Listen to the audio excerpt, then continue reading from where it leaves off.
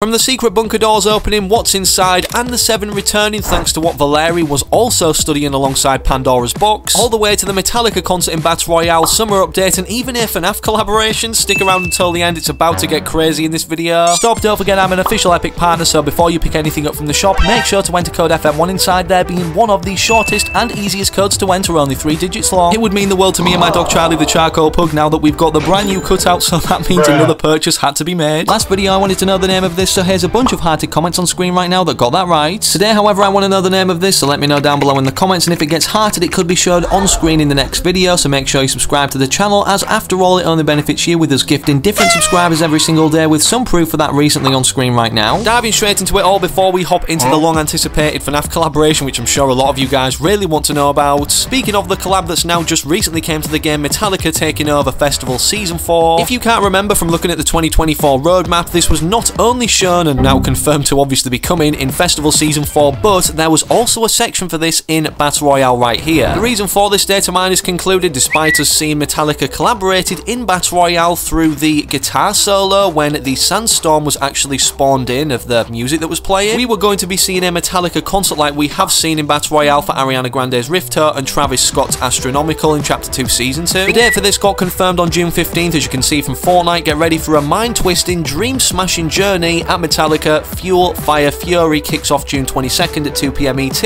and from clicking the article, of course, it shows all the different show times across Saturday, June 22nd, 2024, 2pm ET, 5pm ET, and 11pm ET, and then also the next day, Sunday, June 23rd, 2024, at 10am Eastern Time, 2pm Eastern Time, and 5pm Eastern Time. I'm sure you all want to attend, considering, like I mentioned before, these two concerts in Battle Royale were definitely better than the ones we've seen across Party Royale. There's mm. also a free reward we've got to mention about in just a second, but the experience, if you want to attend, will be in Fortnite's Discover screen for 30 minutes each showtime, so even if you jump in later than the start, you can be part of the full show. Despite this taking over Battle Royale with the floating island already, which I'm sure you're all aware of, alongside bringing one of the most overpowered mythics in Fortnite history in terms of travelling around the island insanely quickly, and we've already got a lot of transportation despite the cars and Nitro this season with the Nitro Fists. If you participated in the Metallica Cup, obviously that happened yesterday when I'm recording June 18th, and you were one of the top scoring players in your particular region, you will have been granted, or are getting granted if it hasn't been granted already, the Ringer emote that you're seeing on screen right now, but this is also coming to the item shop, so don't be disheartened if you actually really wanted this, but never managed to get it for free.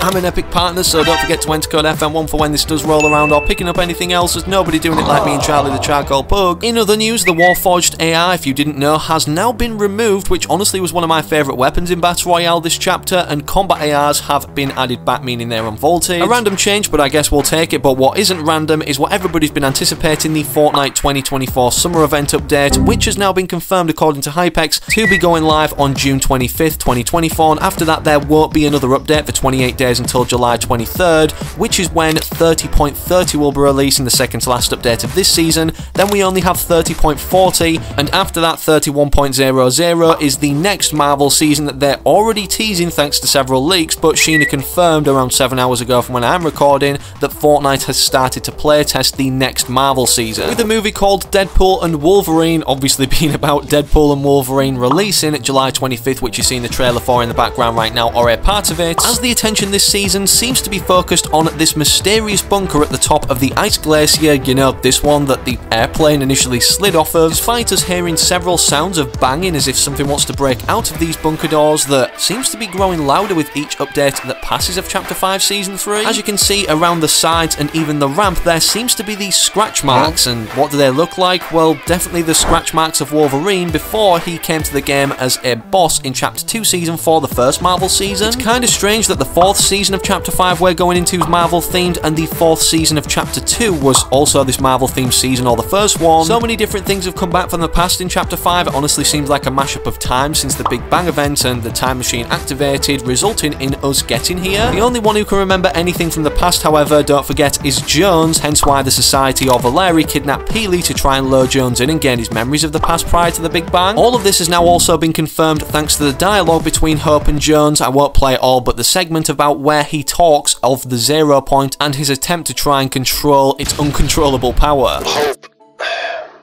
I have direct experience with this sort of thing. When I got lost in the zero point, I I got all the way lost. So just Leave it alone. Power like that can't be controlled. Best case, it destroys you.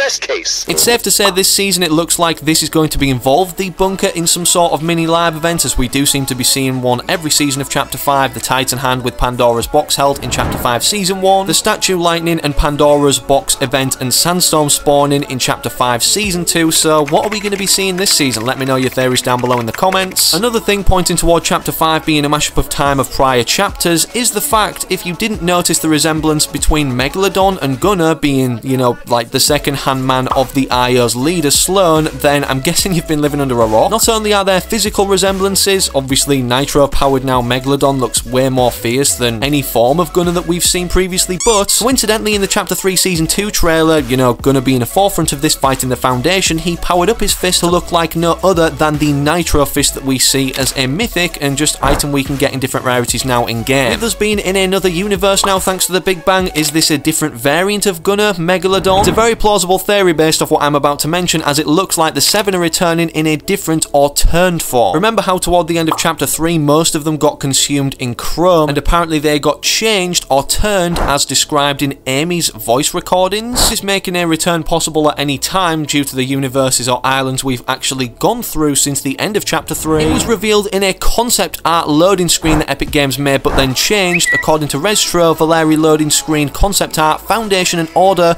were going to be in the loading screen until it was changed. And as you can see on the image, he's right, right here. As you can see, there's two different members of the Seven, the Zero Point and such, Pandora's box at the bottom, and this is just an overall concept sketch from this loading screen being the final version we got. The other sketch, in my opinion, is way more interesting as it's the first thing that showed to us that Valeri was studying the Seven, as you can see right here if we turn this on a side. This book has the Seven's logo on, and according to Restro, again, Valeri had multiple books on the Seven. It's safe to say that the Seven are going to return at some point, but for now, it's been postponed. By the way, all this concept art was done in October, and Charlie was CCO then. So this isn't just the work of Donald Mustard, who obviously retired as CCO, but Charlie Wen, who obviously took over as the CCO now going forward, giving us not only the overall direction now, but one that's kind of catered toward Greek mythology, considering he worked on God of War, which again is from Greek mythology or inspired by it. Breaking news about the summer update, as it's been rescheduled now from what I previously read out in this video. So Hypex stated an hour ago, Fortnite's summer update, not summer event, has been rescheduled to drop tomorrow,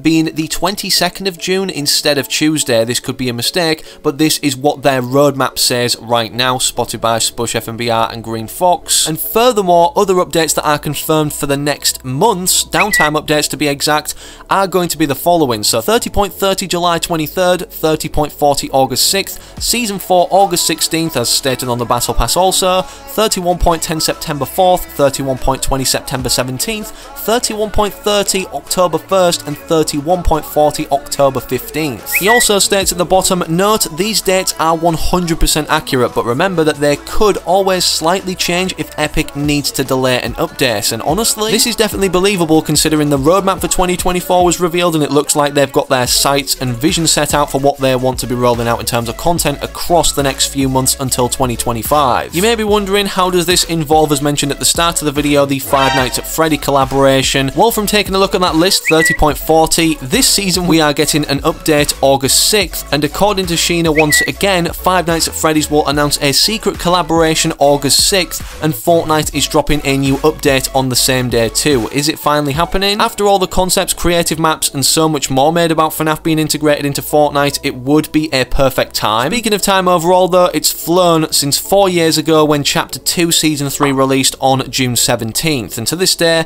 it's the only season iPhone users can still natively play on their devices. As for those that can't remember, the whole free Fortnite movement went down where it got removed off the App Store, but if you already had it installed, you can still play. I believe it's the final update version where cars were initially introduced for the first time. Yeah, it was that long ago. Fortnite Mobile is returning at some point, but not via the App Store, as the recent update we had on it, Fortnite posted shout out to the UK for passing a new competition law. Epic Games Store and Fortnite are coming to iOS in the UK in the second half of 2025. 5, so it's not going to be anytime in the near future, but this is definitely a good thing. Some other good news if you're a tournament player, you'll be happy to know as of June 17th, Fortnite removed region lock from all tournaments, so FNCS is the only exception to this rule, but every other cup and tournament does not have region lock at all. Speaking of tournaments or FNCS, for those that don't know, Clix already has a bundle that's going to be returning very shortly, but there is another bundle according to Hypex. Fortnite will bring back multiple items that haven't returned for thousands of days in an upcoming Clix bundle, according to Clix himself, so he's getting another one. I wouldn't get your hopes up for Renegade Raider or Aerial Assault Trooper coming back, as this is in the thousands of days, but if it's just a thousand plus days, this doesn't even date back to Chapter 2, Season 3, which we already said was four years ago. The fact that there are normal cosmetics that have been in the item shop, not the season shop, haven't returned for 1000 plus days, this makes you wonder why haven't they returned? Well, we finally have an answer from FNBR Intel. According to a recent TikTok from Ali-A, all item shops must now follow a rule where every item is compatible with all of their new modes, otherwise the item can't return. My icon skin is back in the shop, but something is missing, as I've been sent so many messages from you asking why my emote isn't in the store whilst all my other cosmetics are. So I hit up Epic Games and asked them exactly that.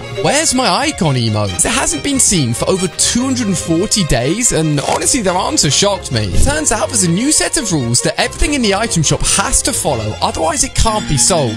As the store now has to support all of Fortnite's new modes, one of which is the LEGO mode, which features its own special LEGO emote, meaning my little Diplodocus emote needs a LEGO version to return. Honestly, that now makes a lot of sense considering Fortnite's a metaverse technically, not just being Battle Royale focused anymore, but as for Battle Royale and the summer event upcoming, we have two free rewards right here being this Peely themed back bling, and also this harvesting tool that are confirmed to be rolling around, alongside in the 30.10 update, four Fall Guys rewards that have been added, so this means the mode is soon going to be releasing and everything integrating it into Battle Royale with our Fall Guys beans actually getting revamps for each of the normal Fortnite skins we already own, like Peely. With us not having an exact date now, considering it was projected June 17th to be upcoming the Fall Guys collab initially, I'm guessing it's going to be before Chapter 5 Season 4, as on the roadmap it obviously came before then alongside the Pirates of the Caribbean collaboration, or that being after the Fall Guys collab, which we already have teasers for in-game right now,